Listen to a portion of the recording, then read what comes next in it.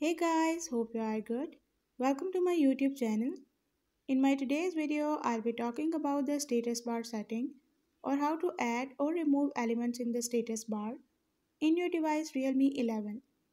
But before we start, don't forget to hit the red subscribe button and the bell icon to stay updated.